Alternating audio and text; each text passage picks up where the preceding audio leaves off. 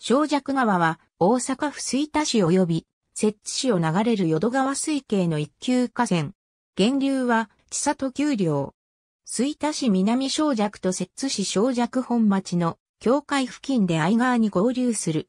一級河川としての開始点は、吹田市大技、山高自家静弱149番地先。この地名、静弱が小弱川の名前の由来となっている。愛川合流点までの長さは3479メートル。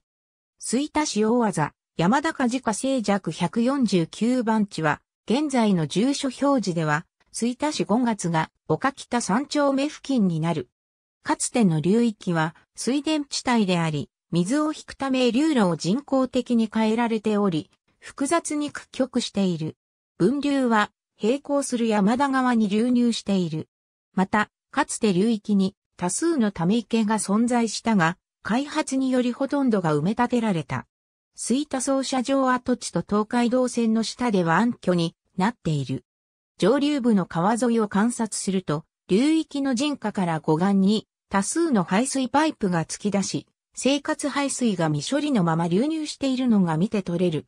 そのため、全体的に水質汚染が激しい。阪急小弱駅付近から相川に合流する区間は、ゆすり化が大量に発生する。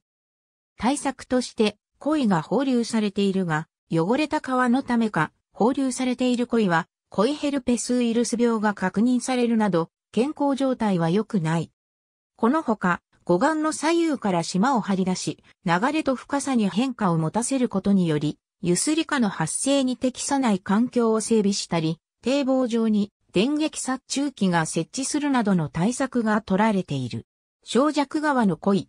ありがとうございます。